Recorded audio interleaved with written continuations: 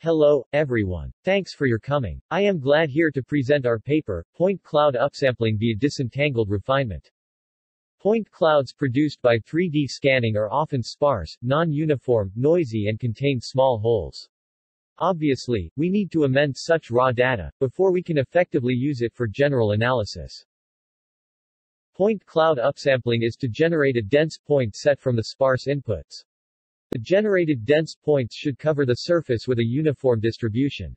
Also, we need to ensure it less noise and fill small holes. As an inference-based problem, these goals are very demanding, due to the limited information available in the sparse input. The existing methods aim to achieve these goals by designing one upsampling module, which mostly implemented by duplicating the features.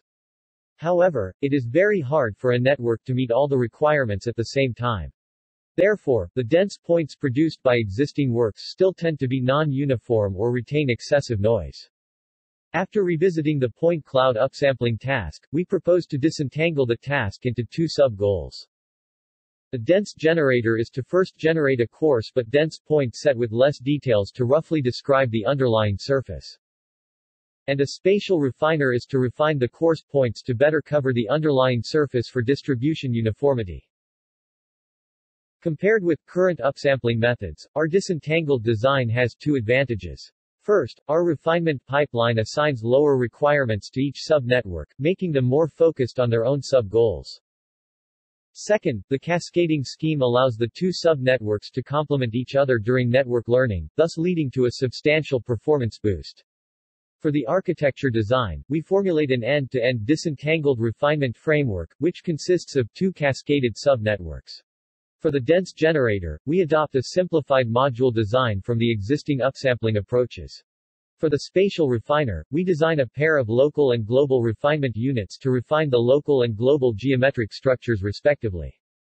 We conducted extensive experiments on both synthetic and real scanned datasets.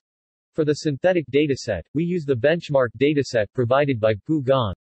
For real scanned dataset, we use ScanObjectNN. We first show the quantitative comparisons on all the synthetic test models under different upsampling rates. Here, we employ three metrics to evaluate the upsampling point sets. For all metrics, lower is better. We can see that our method achieves the lowest values on all the evaluation metrics in terms of both upsampling rates. Here, we show the visual comparison results of point cloud upsampling on the synthetic data. We can see that our dense points can well preserve tiny local structures with a uniform point distribution.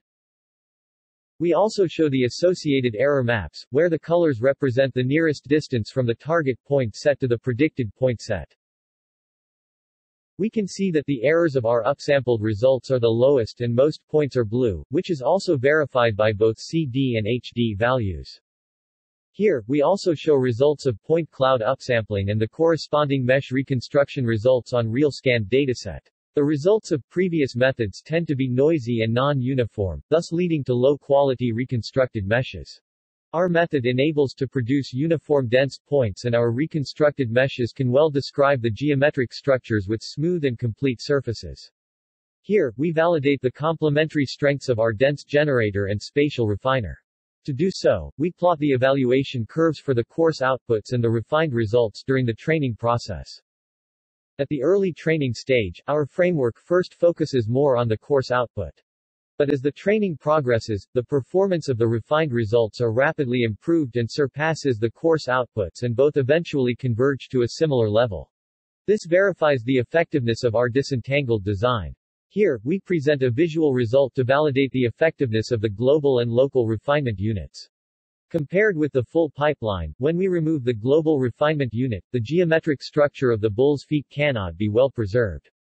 When we remove the local refinement unit, the fine details are lost. More detailed ablation study can be found in our paper. Here is the conclusion, we present a disentangled design for point cloud upsampling. Based on its multi-objective nature, we formulate an end-to-end -end disentangled refinement framework with two cascaded sub-networks, a dense generator and a spatial refiner. Experimental results demonstrate the superiority of our method over previous methods on both synthetic and real scanned datasets. Thanks for your listening. You can find all resources on our website.